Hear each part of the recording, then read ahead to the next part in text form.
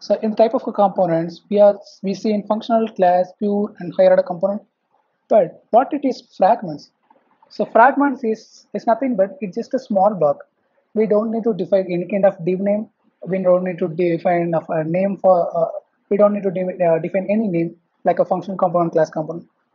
Then this is the fragment, right?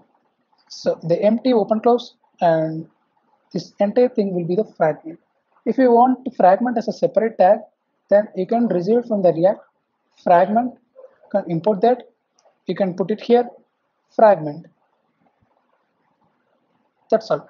So within the fragment, you can use p tag, you can type anything.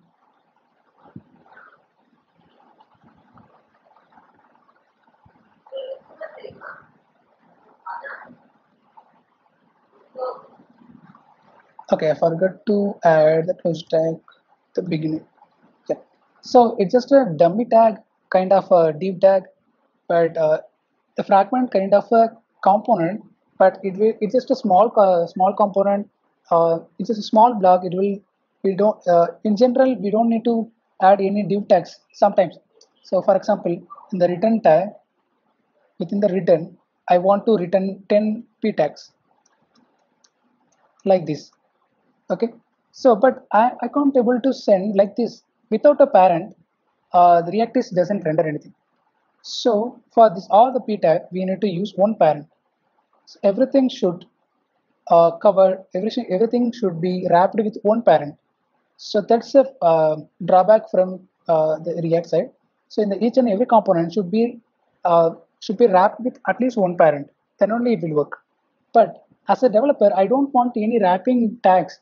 If I add wraps, if, if, if I add any wrapping tags like div or h1 or anything, then it should be a problem in the design side. So if the developer like thinking like that, at that time, we can just remove the div and we can go with like this.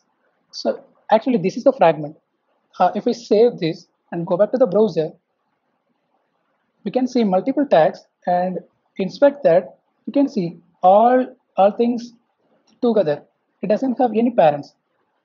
But in the previous manner, if you go with this, then obviously it will be a tree model, right? There is one div tag, the entire structure actually collapsed. So in, in this kind of scenario, we can use the fragments.